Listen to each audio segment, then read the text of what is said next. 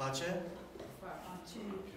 Ne bucurăm că în seara asta ați ales într-o zi de joi, 7 noiembrie 2019, cu câteva zile înainte de alegerile prezidențiale din România, să veniți la biserică, să căutăm de sufletul nostru. Omul muncește pentru multe lucruri, muncește pentru uh, burtica lui, muncește pentru casa lui, muncește pentru copiii lui, pentru nevasta lui, pentru concediile lui, pentru vacanțe, pentru pasiuni.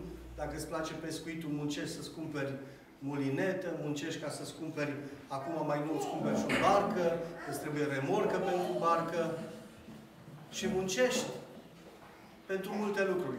Dar pentru suflet ne facem timp foarte puțin. Și în seara aceasta vă felicit, cum spunea fratele Marius de la Timișoara, vă felicit că ați ales să veniți să ne închinăm lui Dumnezeu. Pentru că mai sunt câteva zile până în alegerile prezidențiale, uh, am pe inimă să citim din Scriptură, din cartea scrisă de Pavel către Timotei, se numește 1 Timotei, capitolul 2, începând cu versetul 1, voi citi capitolul 2 și capitolul 3 uh, din două motive. Unu, în capitolul 2, Pavel ne îndeamnă pe noi astăzi, cum a făcut acum aproape 2000 de ani când îi scria lui Timotei, tânărului ucenic, aceste cuvinte, ne îndeamnă să ne rugăm în capitolul 2 pentru, o să vedeți, pentru toți oamenii importanți din viața noastră. Vecinul tău este important, primarul tău este important, prefectul din uh, județul tău este important, președintele tău este important, prim-ministrul este important, toți oamenii pe care Dumnezeu i-a așezat într-o dregătorie, adică într-o slujbă publică în termeni contemporani, toți acești oameni sunt importanți pentru că de relația cu ei și de felul în care își împlinesc ei slujba depinde viața noastră. Depinde serviciul tău, depinde situația familiei tale, depinde situația copiilor tăi. Mâine, poimine se poate să se hotărească guvernul uh, din România să adopte o lege nouă și din nou să instituie obligativitatea serviciului militar. Să meargă băieții cum fac 18 ani, să meargă în armată din nou fie un an obligatoriu, un an jumate sau ca altă dată 3 ani. În capitolul 3, Apostolul Pavel îl învață pe Timotei și îi spune cum ar trebui să fie oamenii care doresc să fie episcopi sau diaconi sau supraveghetori, adică oameni mai sus un pic decât ceilalți. Oameni dacă am vorbit în termeni din domeniul construcțiilor, șef de echipă, oameni care să supravegheze lucrul, care să comande echipa, să-i spună ce să facă, să le arate cum să facă și apoi să-i lasă pe ei să facă lucrul sub supervizarea și uh, atenta îndrumare a șefului de echipă. Haideți să citim din Scriptură împreună. 1 Timotei, capitolul 2, versetul 1, Cuvântul lui Dumnezeu spune așa. Vă îndemn, dar, înainte de toate, să faceți rugăciuni, cereri, mijlociri, mulțumiri pentru toți oamenii. Spuneam mai devreme, vecinul tău e important, toți, dacă stai la bloc, vecinul de deasupra, de desubt, din stânga, din dreapta, toți oamenii de pe lângă tine sunt importanți. Colegul tău de bancă, dacă ești încă la școală, la facultate, colegul tău de serviciu, cel care merge banda rulantă la o secție de producție unde este în serie lucrul și tu trebuie să-ți faci părticica și dacă tu nu-ți faci părticica bine, următorul tău coleg de muncă nu poate să-și facă norma. Apoi Cuvântul Dumnezeu spune să ne rugăm pentru împărați, în termenii de astăzi, pentru președinți, conducători de stat și pentru toți cei ce sunt înălțați în dregătorii. Dregătorie este un cuvânt arhaic pentru tinerii și oamenii secolului 21, înseamnă pentru oameni puși într-o slujbă înaltă, într-o funcție publică. Și auziți de ce ne îndeamnă Dumnezeu să ne rugăm pentru toți acești oameni, ca să putem duce astfel, după ce ne-am rugat pentru ei, o viață pașnică și liniștită cu două valori importante. O viață pașnică și liniștită cu toată evlavia și cu toată cinstea. Evlavia înseamnă frica ta de Dumnezeu, umblarea ta cu Dumnezeu, umblarea în ascultare de poruncile lui Dumnezeu. Și apoi, cu toată cinstea, știe tot omul. Dacă poți să fii cinstit în satul tău, în comuna ta, în orașul tău, în județul tău, dacă poți să fii cinstit în țara ta, atunci este bine. Mai departe, cuvântul spune așa, lucrul acesta este bun și bine primit înaintea lui Dumnezeu, Mântuitorul nostru, care voiește ca toți oamenii să fie mântuiți și să vină la cunoștința adevărului. Căci este un singur Dumnezeu și este un singur mijlocitor între Dumnezeu și oameni, omul Iisus Hristos, care s-a dat pe sine însuși ca preț de răscumpărare pentru toți. Amin. Trec la un verset în care Apostolul vorbește despre bărbați. Vreau dar ca bărbații să se roage în orice loc și să ridice spre cer mâini curate, fără mânie și fără îndoieli.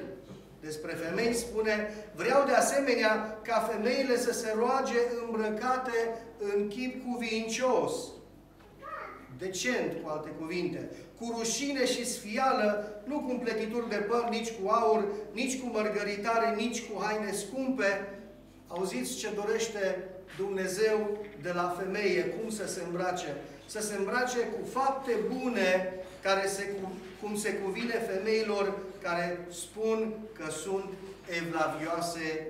Amin. Și acum aș vrea să trecem la capitolul 3 din 1 Timotei, unde Cuvântul lui Dumnezeu ne învață prin scrisul și gura Apostolului Pavel peste 2000 de ani. Ajung cuvintele acestea la noi care spun așa. Adevărat este cuvântul acesta, dacă râvnește, dacă dorește, dacă are cineva ambiția să fie episcop, dorește un lucru bun.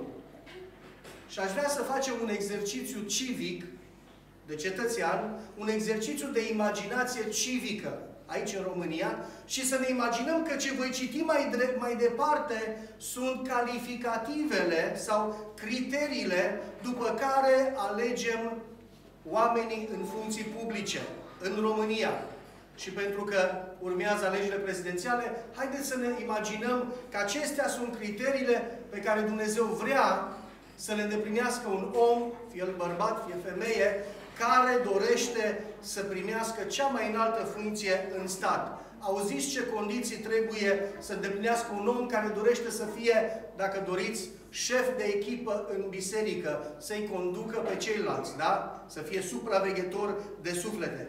Versetul 2, 1 Timotei, capitolul 3. Dar trebuie, este o necesitate, dar trebuie ca episcopul să fie fără prihană, să nu aibă greșeli, adică să nu fie prins cu nu știu ce, să fie bărbatul unei singure neveste, cumpătat, înțelept, vrednic de cinste, primitor de oaspeți, în stare să învețe pe alții.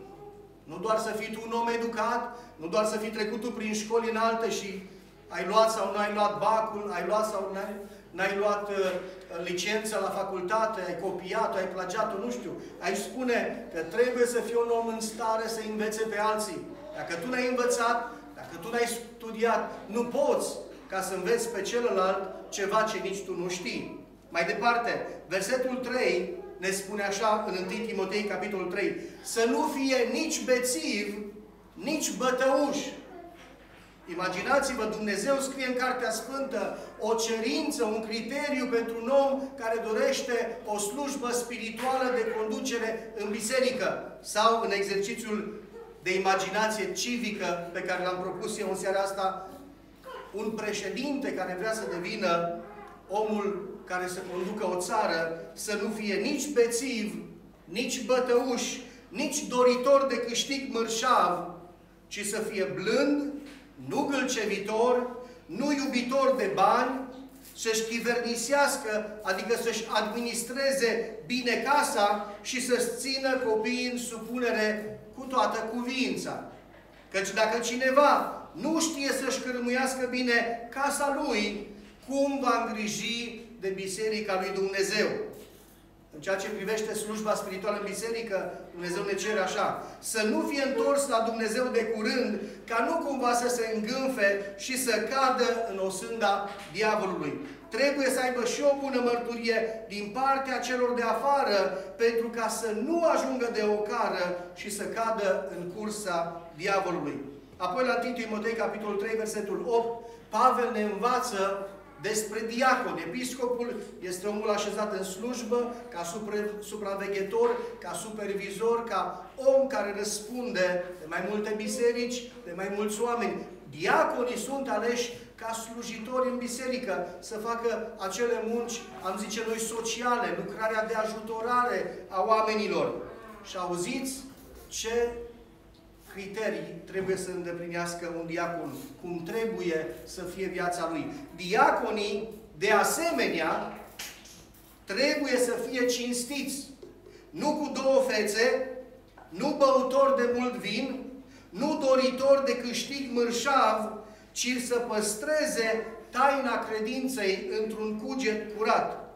Cuget curat însemnând o conștiință curată să păstrezi taina credinței tale cu o conștiință curată, una nepătată. Versetul 10. Trebuie cercetați întâi și numai dacă sunt fără prihană să fie diaconi, să fie puși în slujbă.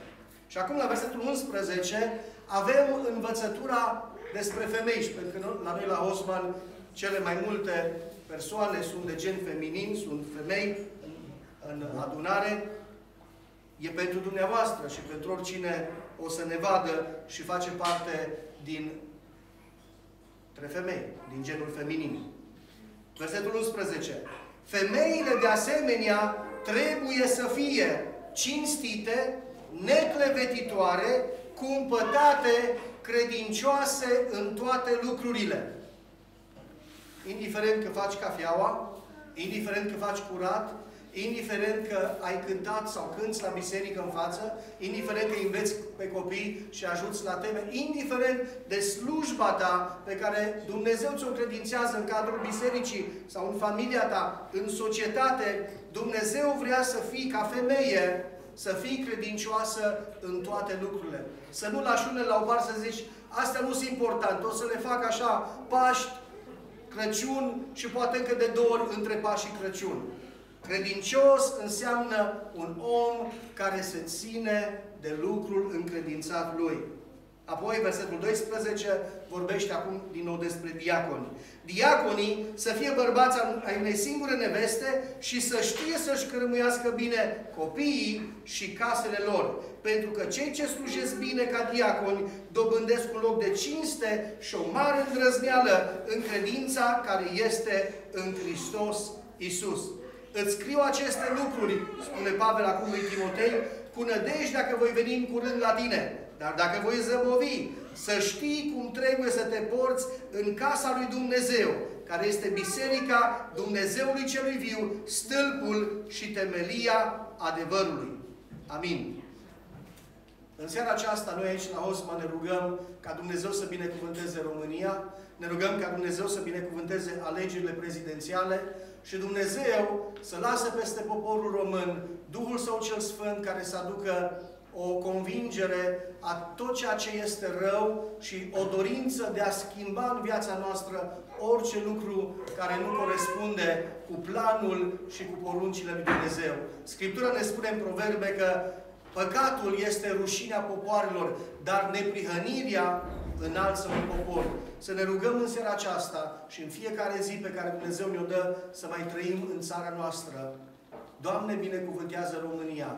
Doamne, binecuvântează România să fie o țară în care oamenii trăiesc și pot să trăiască cu evlavie, cu frică de Dumnezeu și o țară să fie România în care oamenii să poată trăi cu toată cinstea.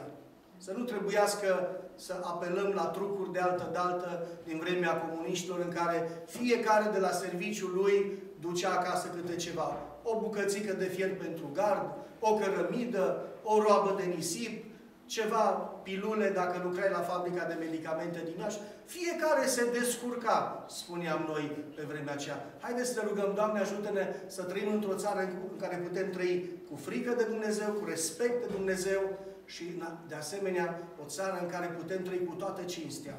Când vine cineva la tine și zice, nu vrei niște canistre cu motorină la jumătate de preț, că am eu de undeva să pot să-i spui, bă, omule, asta e furt și nu vreau să umblu cu furt. Vreau să trăiesc cu toată cinstea în țara mea. Doamne ajută-ne, Doamne ajută România. Amin.